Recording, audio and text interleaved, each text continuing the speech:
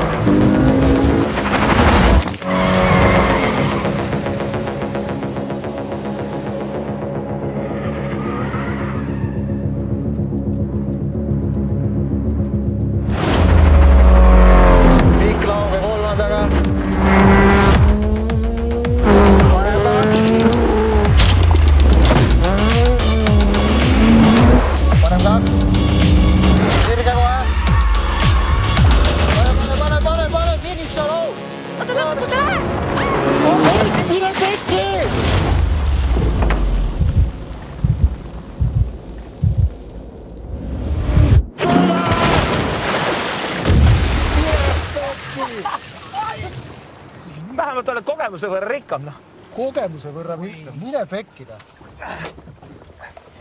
mis juhtus? mis juhtus, mis juhtus, noh, pikaks läks ju, nägid ise. kuule, ma pidin lapsed lasteaiast ära tooma sellega täna. no võta siis minu auto. okei okay. no näeme siis. olge ettevaatlikud. tšau. ära muretse, Indrek, ma hoian sind hellalt.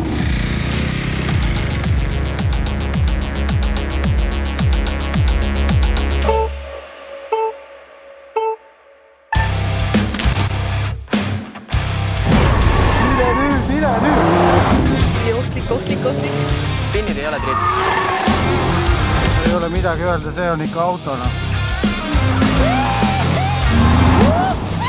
niimoodi ei saa rallit sõita.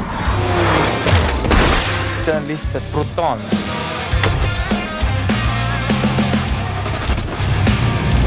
tere, mina olen Saara ja minu kõrval on Koit ja Indrek ja nagu te äsja nägite, me oleme teie ees hoopis teistsuguses rollis.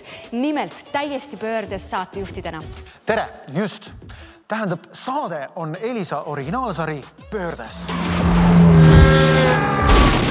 tere ja mitte ainult meie ei ole pöördes, vaid peaaegu kõik eestlased on pöördes oma autodest ja kes ei ole, ei ole järelikult seda õiget veel leidnud. ja just selleks meie saade Pöörded üles võtabki. just, aga miks meie? põhjus on väga lihtne, armastus. no vaadake neid kaunitare siin minu ümber. ja ma ei pea silmas hetkel Saaret ega Indrekuid, vaid neid kaunitare siin. Olles pea kakskümmend aastat autosid müünud, tean väga hästi, et omaniku ja auto vahel tekib väga kirglik suhe. Siin saates me seda just teha aitamegi, leida õiget autot õigele inimesele. vähe sellest, me testime siin saates igasuguseid sõidukeid, põhimõtteliselt kõike, mis liigub. näiteks äh, ratastel prügikasti. ja miks mitte, mootor külge ja läheb. tegelikult on ju nii, et autod on nagu inimesed, kõigil on oma iseloom, oma välimus, oma anded, võimekus ja elukutse. nii et äh, oma hääl. ja kusjuures inimese ja auto vaheline suhe muutub ajas minu meelest. absoluutselt, absoluutselt, sellepärast et äh, näiteks kui sa võtad noore pere isa, siis tema ei vaata kunagi pagasnikust võib-olla kaugemale, aga keskeas mees, vaatab kapoti alla. absoluutselt. eks tal on need vajadused, mis tal noore isana rahuldamata jäid. ma ei, no ärge minu otsa vaadake, mina ei tea, miks. aga tal on need vajadused. on, on, on, on, on väga-väga suured ja väga rahuldamata ja tihti võib see väga pöördes saada. paraku. niisiis, meie tänane autosuhte teema on uus suhe uue autoga keskea kriisis. ehk õige auto keskeas mehele.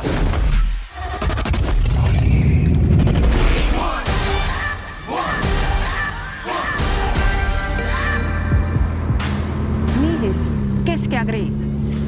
no see oli vanasti umbes seal neljakümnendate kandis, ma arvan, et tänapäeval on asi natuke nihkunud. ma usun, et viiskümmend on uus nelikümmend. nii et väga varakult endale keskea kriisi lubada ei saa. Ferrarit ka ei saa aga see, daamid ja härrad, on just see, milles mina praegu istun. Oh my god. see on tõeline keskea kriisi klassika. minu ümber on punane Ferrari F8 Spider. Oleks ma mees ja selle auto omanik, siis ma oleks ju Spider-man ühesõnaga, siin ei ole mitte midagi rääkida, kui sul juhuslikult on kolmsada tuhat eurot võtta niimoodi tagataskust, siis ole hea inimene, osta see auto, sa ei kahetse. see on lihtsalt niivõrd kihvt auto. kui sa muidugi leiad selle kuskilt Euroopa pealt, sest üldiselt see auto on investeering, mille väärtus muudkui kasvab ja kasvab. mootoriks kahe turboga V8, mis arendab seitsesada kümme hobujõudu. See on reaalselt mingi neli-viis korda rohkem kui mu enda auto. nullist sajani kahe koma kaheksa sekundiga. ja see hääl nii sõites kui ka seistes. Oh my god, te peate seda kuulma muidugi täiesti pöörane siis, kui sa lülitad veojõu kontrolli välja ja üritad siis seda taltsutama hakata.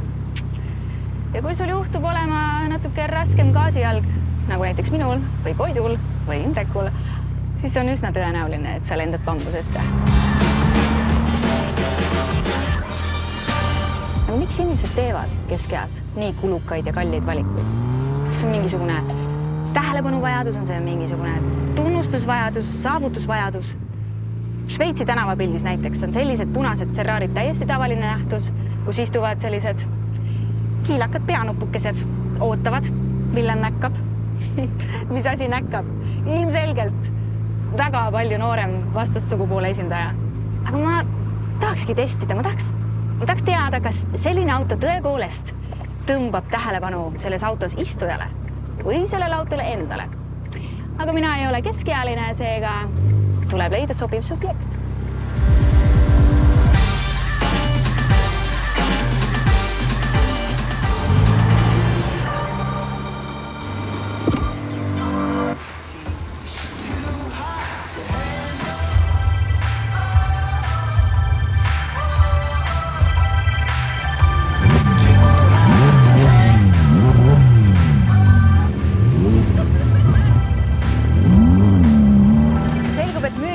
kriisis olevatest meestest ja õngekorkidest ei vastagi tõele. aga mis vastab tõele, on see, et auto ei ole püügivahend, auto on sõiduvahend ja selleks on see Ferrari siin lihtsalt muah, suurepärane.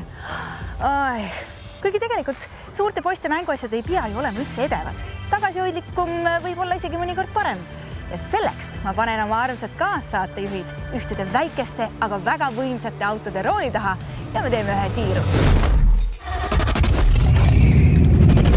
selle tiiru tegemiseks viisin ma oma armsad kaassaatejuhid Audrusse Porsche ringile, sest poistele meeldib sõita ja minul oli vaja teada, kas need väikesed autod leevendavad keskeakriisi. sest olgem ausad, ei ole Indrekul ja Koidul see keskiga ja äkki ka kriis ju sugugi mägede taga, võib-olla isegi juba käes. seega, kuigi nad seda ei teadnud, olid nad märkamatult sattunud minu eksperimendis katsealusteks mine sa tea, äkki saab sellega keskeakriisi natukene isegi ennetada, ilma et keegi märkaks keegi ei tea, mis on peidus pinna all.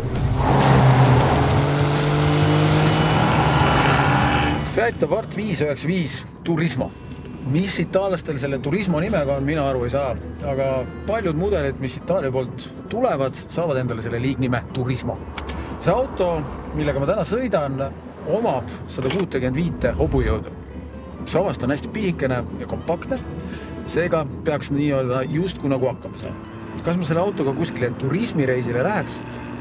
pigem vist mitte.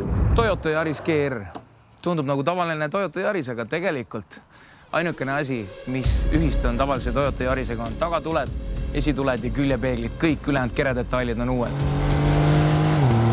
see auto siin on tõeline hunt lambanahas ja kusjuures Ferrari'ga võrreldes isegi lamba hinnaga. Hyundai i kolmkümmend N tundub selline rahulik luukpära, tavaline välimus, linnaauto, käib poes, mõnus onju. tegelikult on tal suur süda. ja kui sina tema kõrval foori taga kiirendad, siis sa jääd üsna kiiresti pika ninaga talle tagatulesid vahtima, sellepärast et see siin paneb siukse minekuga minema. kakssada kaheksakümmend hobujõudu, viis koma neli sekundit nullist sajani launch control. ja kuula seda. Sport mode. linnasõiduks usun, et see auto on täitsa okei okay.. kas ta lahendab minusuguse keskealise mehe mingisuguseid täitmata unistusi? ma arvan, et mitte. aga see auto teeb päris käredat häält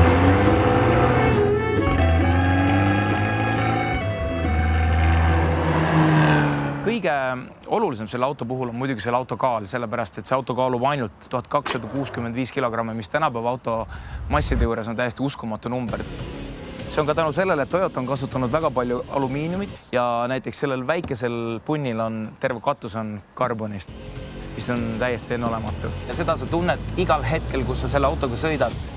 Ma pean ausalt tunnistama, ma läksin äh, salongi ja tellisin selle auto, ootasin seda aasta aega ja sain selle sellel kevadel kätte. ja ma ei kahetse seda. ma olen täiesti veendunud, et selle raha eest umbes laias laastus kolmekümne viie tuhande euro eest ei ole mitte ühtegi konkurenti võimalik turult saada sellel autol Toyota arendas välja pealt kahtekümmet aastat täiesti uue neliveosüsteemi spetsiaalselt selle auto jaoks. inspiratsiooni on see saanud WRC sarjast, sa saad ise timmida seda autot, kas sa tahad natukene rohkem esiveoliseks, tahad sa seda rohkem tagaveoliseks või siis viiskümmend, viiskümmend, mis on näiteks rajal nagu täiesti ideaalne. Maailma kõige võimsam kolmesilindriline ühe koma kuue liitrine turbomootor, mis arendab äh, kakssada kuuskümmend viis hobujõudu kiirendus on sellel autol viis koma viis sekundit nullist sajani ja tegelikult saladuskattel ma võin öelda, et Ameerikast tuli just hiljuti välja spetsiaalselt Ameerika turu jaoks Corolla GR, mis on, millel on täpselt sama mootor, äh, ainult natuke teine väljalase ja teine ajuprogramm ja mis arendab juba tehase poolt kolmsada hobujõudu, nii et kõikidele tuuninguhuvilistele on äh, tulevikus ka päris palju võimalusi et rajal käimine ei jääks ainult jalutuskäiguks ja jutustamiseks, tegin poistele ettepaneku sõita võidu, sest miks muidu üldse ringrajale tulla. ja no teiseks oli mul hull isu teha kohe hooaja alguses selgeks, kes on kiireim saatejuht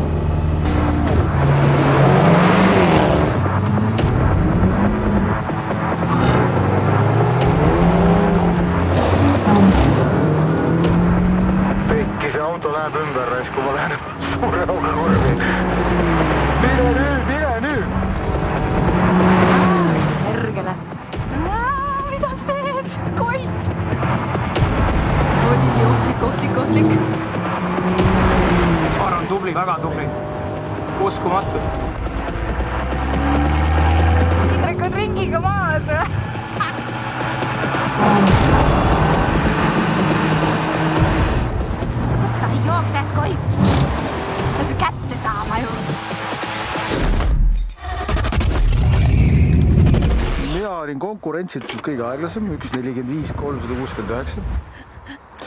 sina, Saara, olid väga-väga tubli, üks kolmkümmend viis, üheksa, kuus, üks. Koit, no sa oled nagu kodus, üks kolmkümmend üks on täitsa okei okay aeg kuule, aga Indrek, mul on niisugune ettepanek, aga sa võta siis minu auto, ma võtan, äh, proovin seda metsikut itaallast ja et sul, et sul õhtuks ikka tuju nagu paremaks läheks Pro. mine ja proovi selle Scorpioniga sõita, ma hea meelega proovin selle. sellega võib juhtuda see häda, et see võib hakata meeldima. see? jah. pärast vaatame, kas sulle meeldib. hea plaan, lähme. Davai, lähme. kuule, Indrek, see on manuaal, sa ikka oskad manuaaliga sõita? see on küll nagu käigukang on, okei okay.?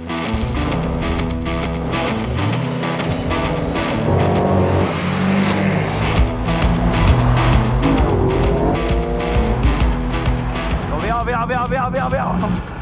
vale käik jälle, kurat, ma ei saa aru sellest käigukastist. jälle vale käik. minul saab kohe fuel otsa, ma arvan, et ma ei jõua teha aja neid. kaheksa kiltsa näitab. bensiinimootoriga auto sõidab peale nulli jõudmist veel nelikümmend, viiskümmend kilomeetrit. ta kütus saab otsa, siis ta lihtsalt jääb seisma, aga ära stressi selle pärast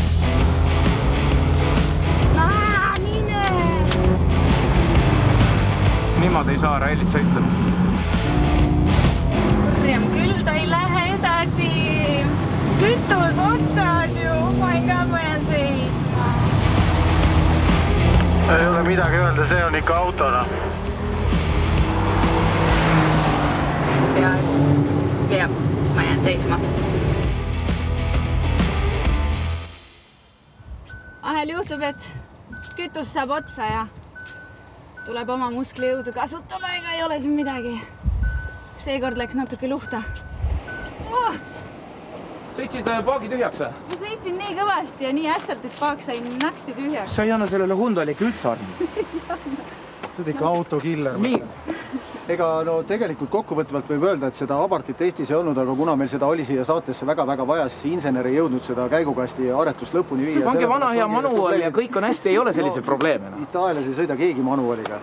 Nad manualiga teevad ainult ühte asja, vasaku käega lahti ja pokaali. okei okay., väike. no kuidas tundub, kas ükski nendest võiks kuidagi keskeakriisi leevendada mm?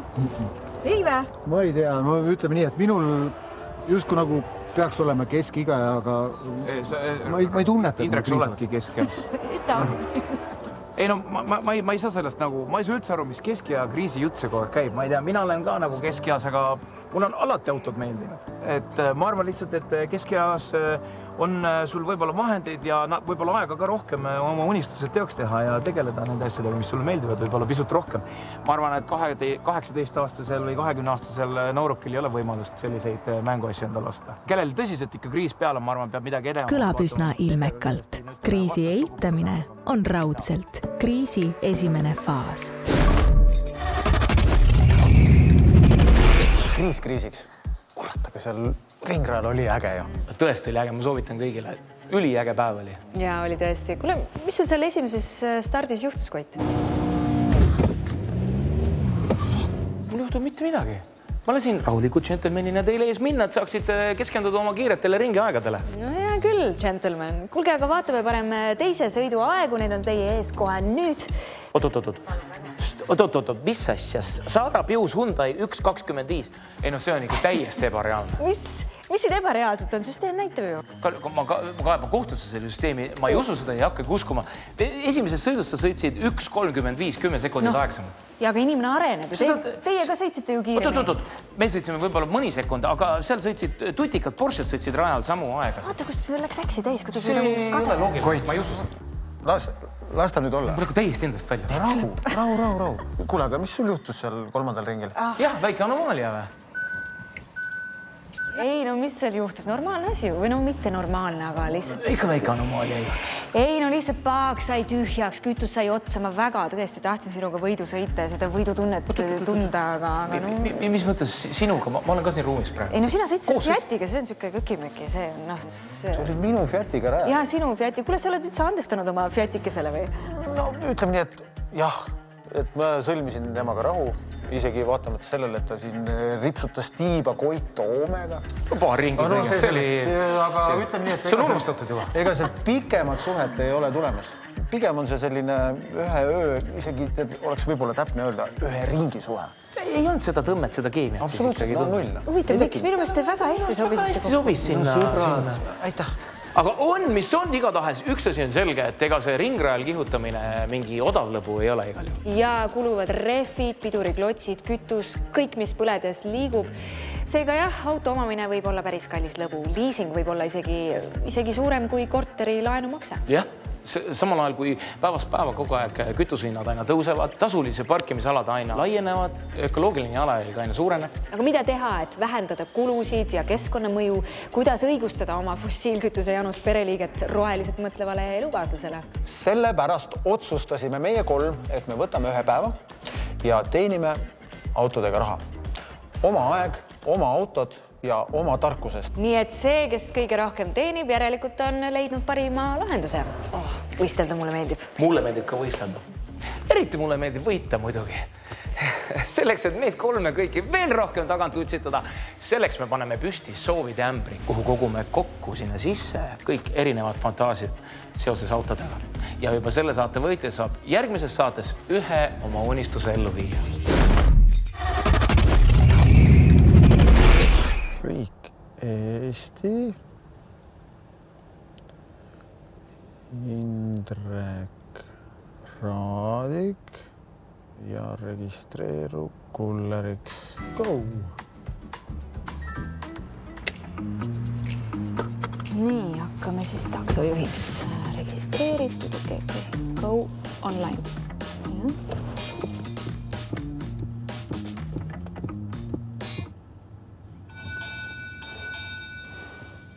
Koplis sada kaheksa, on siinsamas, okei okay., accept. kuhu?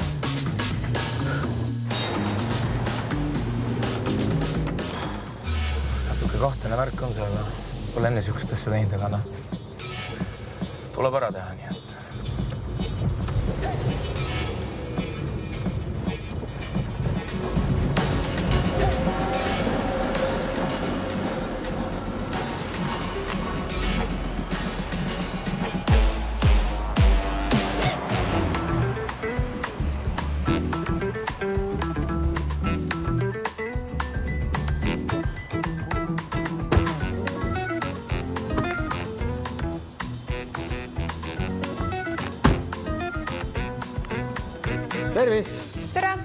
palun mulle see tellimus. uh,. ja see ongi see. see kõik on mulle või? ja.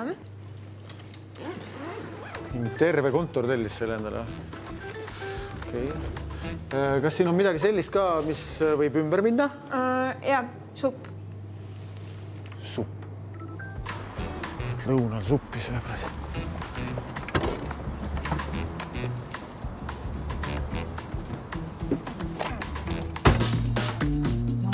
Mu esimene klient on viisakas. ja, ma peaks temaga rääkima midagi. oot, oot, oot, oot, kuhu ma lähen? kuhu sa lähed? Jesus, sorry.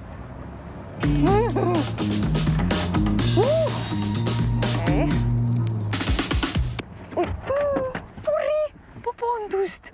issand, siin ei ole ju ülekäigurada. niimoodi näitas. Sorry ah,. Nii palju juhtub kogu aeg, ma pean samal ajal tegema sada asja ah..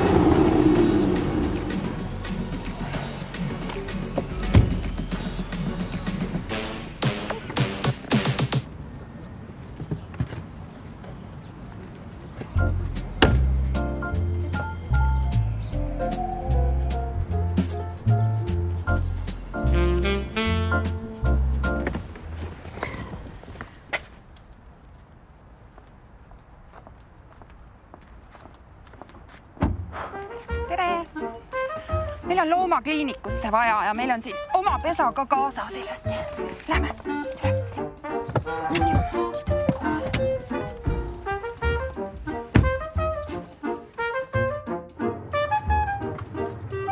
nii äh,, Valdeku loomakliinik jah? kas äh, kuskil lähemal ei ole mõnda? tere hommikust, kuidas läheb? mina olen, tere, mina olen Koit Toome, tere hommikust. mina olen Koit Toome, kas te sobiksite minu autosse istuda? ja üks hetk, see oleks viis eurot. vabandust, kas äh, PayPaliga saab ka maksta? jah, jah. mis su konto on? Koit või ka Toome at gmail.com.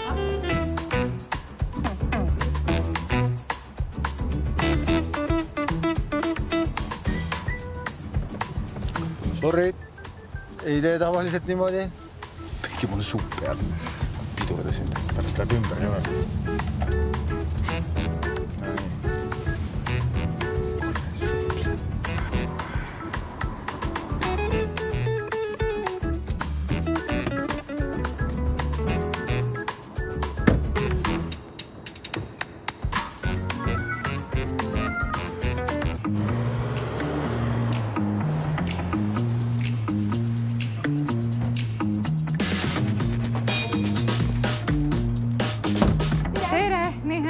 Äkki tuleb mingi väike auto.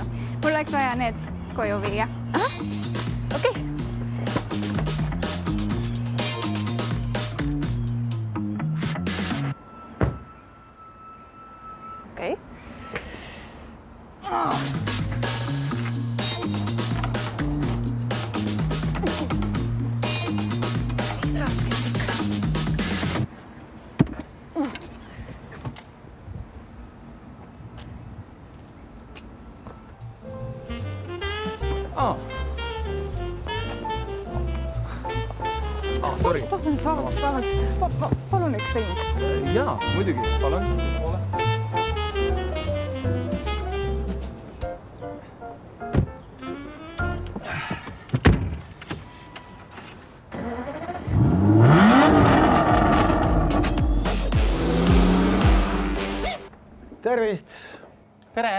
Sellele tellimusele järgi. aga palun, see on teie tellimus wow. kas see on kellegi pulmatort või? ei usu, see tuli täna hommikul ja tundub, et kellelgi lihtsalt on emergency.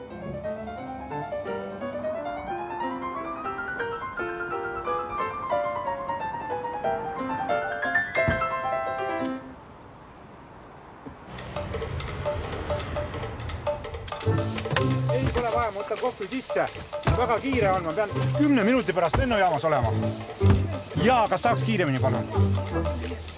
Lähme, lähme, lähme, kui saad trahvi, ma maksan kinni okay..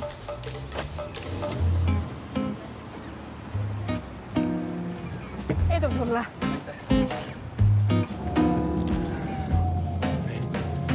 Pekki, Pekki, Pekki, Pekki, ma jäängi siia, noh. keset Tallinna linna suure bussiga.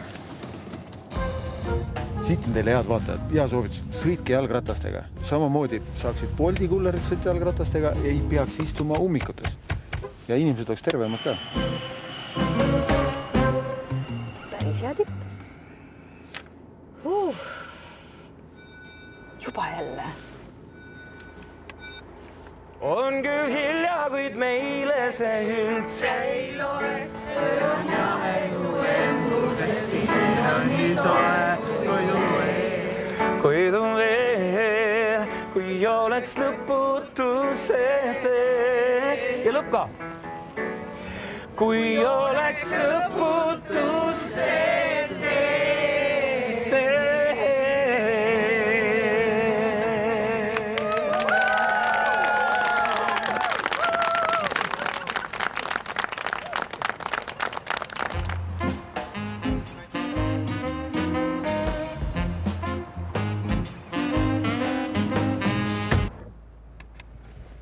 sorry, ma ei jaksa enam huh!. mida päeva? ei hooli, neist ei hooli mm..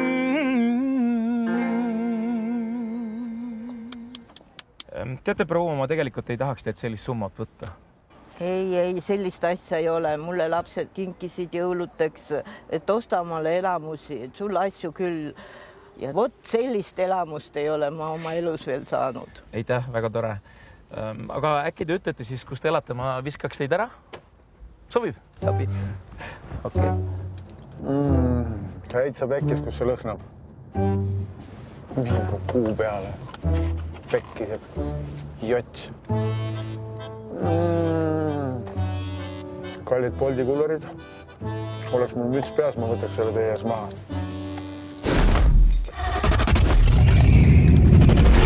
niisiis, tõehetk. tõehetk. sada kakskümmend seitse kopikatega. Saara üheksakümmend kaheksa eurot, aga ma sain ka tippi viiskümmend eurot, seega sada nelikümmend kaheksa. Ullala. Koit, sina? Viiskümmend, sada, sada viiskümmend, kakssada, kakssada viiskümmend, kolmsada, kolmsada viiskümmend, nelisada, nelisada viiskümmend. mida sa tegid üldse, Koit? Ennast müüsin. vaata, näed. Autosse istumine viis eurtsi, Koiduga selfie kümps, ring ümber palta viis kümpsi. vaata, Indrek poiss, niimoodi tehakse raha. täitsa lõpp. Läks mäsuks ka või? täielikuks mäsuks läks, ma oleks sama palju veel teeninud, aga ma kartsin, et keegi kutsub politsei. see oli tegelikult vist mingi jalakäijate ala. see on siuke täitsa soodane. me pidime näitama inimestele, kuidas autoga raha teenida, mitte ennast müüma. keskmine Eesti inimene ei ole ju Koit Toome enam. seega Koit Toome on diskvalifitseeritud ja võitja olen mina. paluks ulatada mulle soovide ämber. täiesti, see on täiesti ebaaus praegu. ei ole ebaaus, ise oled ebaaus. Millest sa ilma jääd nüüd uh,? Porschega Porsche ringil. selle oleks pidanud mina saama. paras, paras. seega Saara läheb tagasi Porsche ringile rehvi kulutama mina viin aga läbi senikaua ühe huvitava väljakutse.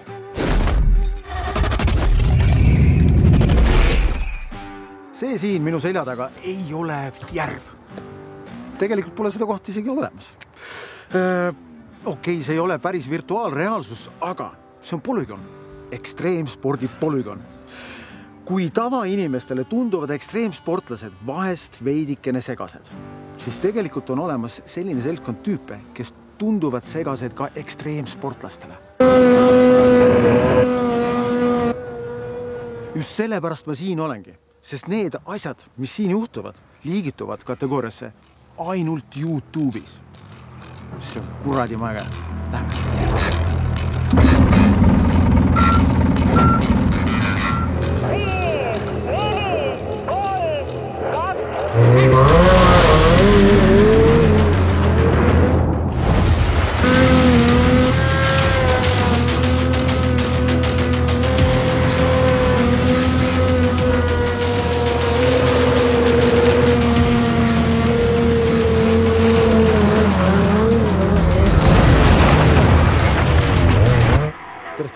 Tere, Indrek. üliäge noh. aru, ma olen lapsest peale jumaldanud neid tüüpe, kes nihutavad füüsika, mehaanika, igasugused seadused, nii et, et no põhimõtteliselt kõrvalvaatajatel läheb süda peaks. kas ma võiks ka proovida? no oled sa kindel, et hakkama saad? no mis ikka juhtuda saab? no lähed põhja ja siis on kas elu, tervis või siis lihtsalt viisteist tuhat eurot. viisteist on ju. kuule, Sten, okei okay.. me tegelikult saate produtsendiga tegime ühe pilli, millega on võimalik ka vee peal sõita ja, ja, ja kuna me ei ole seda proovida saanud, siis ma kutsusin oma sõbra Rene. Enduro sõit, päris hull adrenaliininarkar, nii et äh, ma arvan, et me võiksime hoopis äh, sellega siis proovida, kui sa ei taha ja mina ei taha sulle viiteist tonni ka maksta ausõna. no sellega lähed ka põhja. ära muretse, selle peale mul on ka mõeldud. nii et mul on veel üks sõber Toomas on sukelduv, et juhul kui peaks midagi juhtuma, siis Toomas lihtsalt läheb ja toob pilli välja sealt noh. tere, mehed no.. oleks igati normaalne, kui minu abi teil vaja ei oleks, aga samas teisest küljest oleks mul muidu väga igav. kuulge, vähem möla, rohkem tegusid. positsioonidele lähme viime selle tsikli vee peale.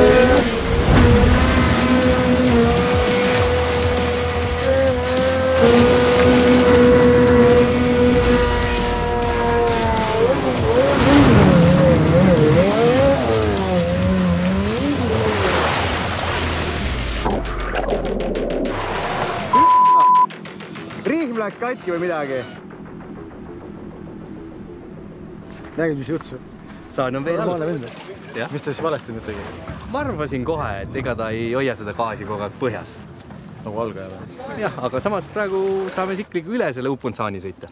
just vähemalt tekib mingisugune sihuke inerts ja saab hoogu parema ju. võib-olla tõesti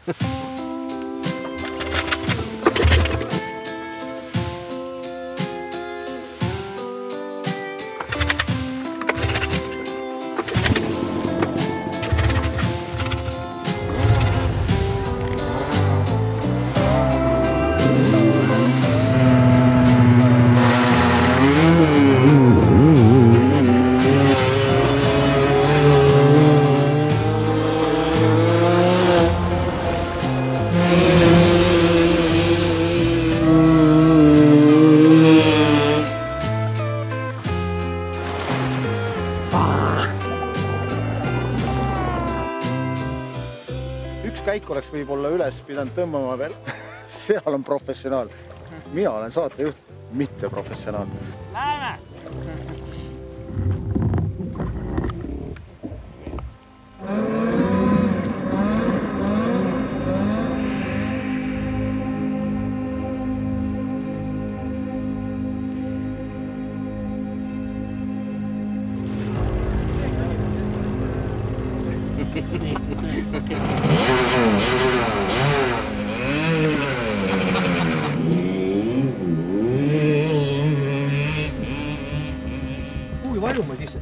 Vaata ainult kaugele. kui sa kaugele vaatad, siis ta. sellega ma juhin. sellega juhid. teisega lähed. ja, ja praegu ta jääb liuglema, aga hoia see teise käiguga nii palju kui pead.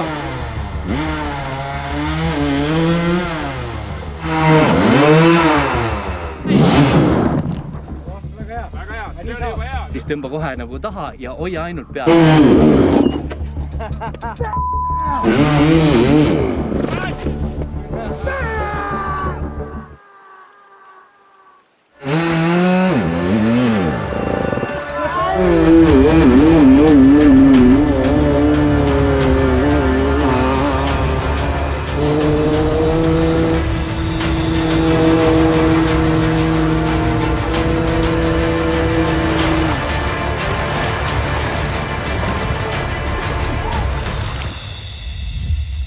noh, Tenks, kuidas meil läks siis?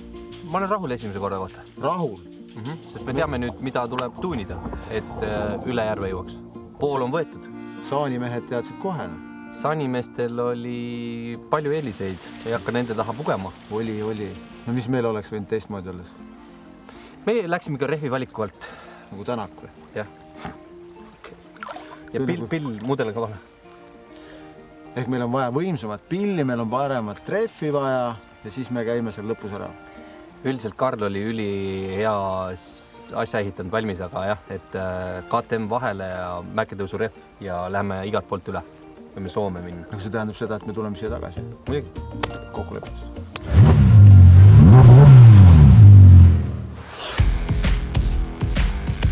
kuigi veemotospordi ja maamotospordi ühendamisel tabasid mind kerged tagasilöögid, ei saanud see mõjutada meie peamist missiooni. ja keskeakriisis meeste vaevade leevendamiseks viisin ma kaassaatejuhid seekord motokrossi rajale, kus mina tunnen ennast päris koduselt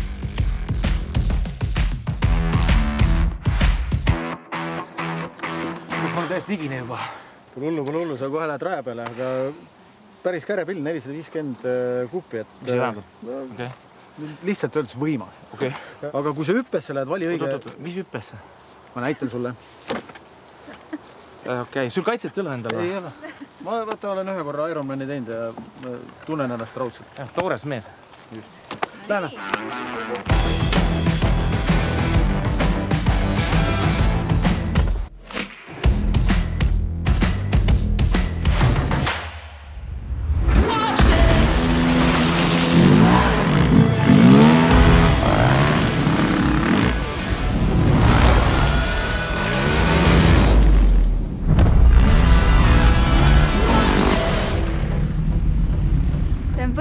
Nagu lastega rannas. vaatad, et lihtsalt keegi liivakooki ei sööks.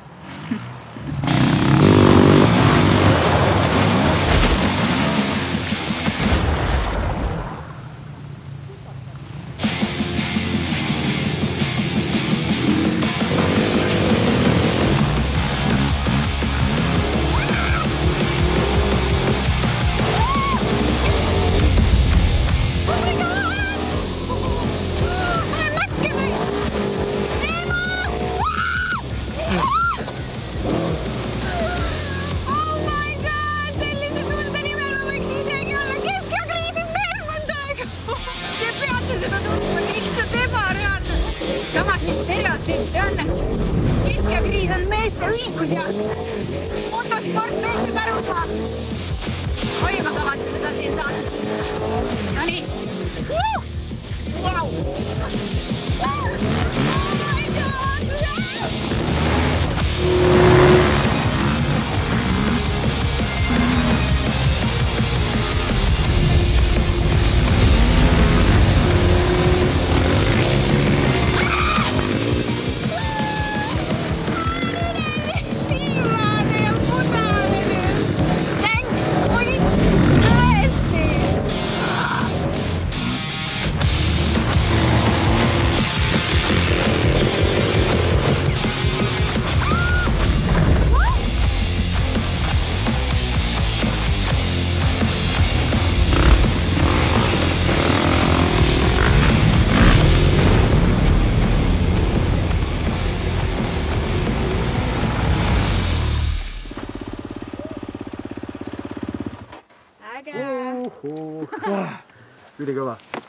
Noh, mis sa ohkad?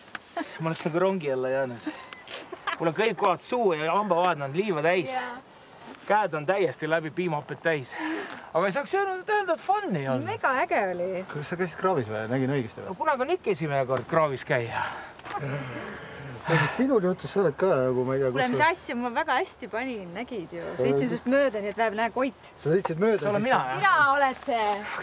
see, kus me täna siin oleme, see on üks väga-väga huvitav koht Eesti motoinimeste jaoks, see on Saku Männiku motokrossi rada, siit tulevad raudmehed.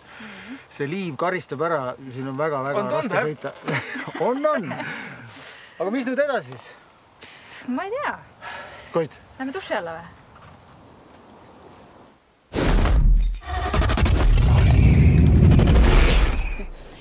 Igaks juhuks mainin, et võtsime seda duši asja ikkagi sündsuse piires, erinevast soost saatejuhid pesid ennast ikkagi eraldi, ühissaun jäi ära ja Koiduga on kõik korras oot-oot-oot, mis mõttes minuga on korras, kuidas minuga korras nüüd on? ei ole korras või? tegelikult on kõigiga kõik kõige paremas korras. aga Saara, miks sind see keskea kriisiauto nii väga huvitab? jah, teate, ma lihtsalt otsin Märdile tulevast keskekriisi autot. mõtleb ette lihtsalt, ma väga mõistlik. mõtlen ette, ta on kolmkümmend kolm praegu, eks ole. siis on veel minna. no natukene. Ukse ees juba. ja ukse ees, ma ikkagi valmistun, eks ole, ega tal see minu kõrval siin tulemata ei jää, mina põletan teiega siin kütust Mm. lõbutsen, tema vaeseke peab lastega kodus olema, tšau Märt. tšau Märt. no vot, et eh, ega see tulemata ei jää, aga muideks, see keskea kriisi teema ei ole ainult meeste teema, kas teate? Oota, mis naistel on ka keskeakriis või? on, on, nii et seda vähe ma pole. kuulen esimest korda. ma olen siin ikka korralikult teinud märkmeid ja ma olen valmis. okei okei aga mis me siin nüüd otsustame? kas see, mis me siin äh, motokrossi rajal täna proovisime, kas see on lahendus keskeakriisile? Ma ei tea, no palju see kõik kokku maksta võib? ah, mis ta ikka maksab? no ma ei tea, no Dodge äh, seitsekümmend viis tuhat, äh, mototehnika, ma arvan, üks kolmkümmend, nelikümmend tuhat, veel mingit nipet-näpet asju juurde, noh, sada kakskümmend viis tuhat umbes. on ka? no umbes. no selle kõrval on minu kriis nimega Aston Martin on väga odav. okei okay., aga tegelikult Koit, ma leidsin meie kesk- ja kriisis olevale mehele väga mõistliku hinnaga mõistliku lahenduse. oot-oot, stopp, stopp, stopp. Mina kohe kardan kõike, mis on mõistliku hinnaga liiga mõistlik ja. Koit, ära karda, palun. palun. Volkswagen Toka. ossa. väga mõistlik pill mõistliku hinna eest. ma juba tunnen, kuidas kesk- ja kriis võtab vaikselt pöördeid üles. mis asja, minu arust väga seikluslik, vaata seda disaini, selline päris kinki, ma ütleks. kinki on õige sõna. hipster värk vaata neid velgi. lillekesed on puudu peal. nii no nunnu aga mõtle nüüd sellele, et sa lähed, sa suudad siia ära paigutada terve oma pere, võib-olla koerased ka veel kaasa võtta. Lähed kuskil metsa ja siis sul on lihtsalt oma jaoks vaja aega, siis sa võtad selle Delta mopeedi ja tõmba töösse. seda ma pean tunnistama, et mopeed on sul aus igal, igatahes. Minu lapsepõlve unistuste mopeed, mida ma kunagi endale ei saanud, Delta. aga selles mõttes eh, ega siin lahendust ei olegi, et eh, mina pakuksin siis niimoodi, et kui on natukene raha rohkem, siis Üle. see Dodge Rami lahendus eh, kesk- ja kui on natukene tagasihoidlikumad võimalused, siis Volkswagen Toka ja Delta. nojah. Järgmises saates aga otsime meie õiget autot pensionärist emale ja teeme väga vähe lärmi elektriautodega. päästame planeeti. püsige pöördes.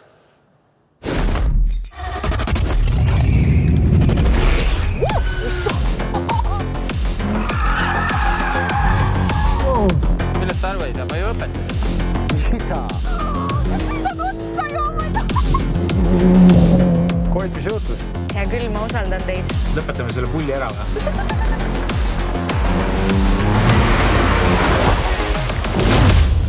nii see kõik algas, aga see on alles algus, järjest pöörasemaks läheb. oo jaa, ja kui sa tahad näha, kuidas mina vormel ühega sõidan või trikilennukiga surmasõlmesid teen või Indrek suuri autosid lõhub või Saare oma piire kompab, siis mine kohe aadressile elisa.ee kaldkriips huub ja telli endale Elisa huub, sest mitte kusagilt mujalt ei ole võimalik seda sarja vaadata. just ja Elisa Huubi tellimiseks ei pea sa olema Elisa klient. Elisa töötab absoluutselt igasuguse internetiga, nii et pööraseid elamusi ja mõnusat vaatamist. Pole teel mitte niisama mööbel, hommikul ja öösel pilgu hoian sirgel ja ise püsin pöördes. võiks kulutada kingi, saab ka sõita ringi, ma tuiskan nagu tuul, sina proovid pütke kinni.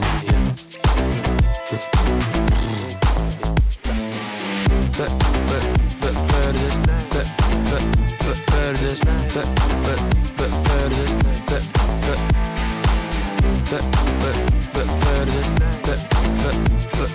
pöördes, pöördes,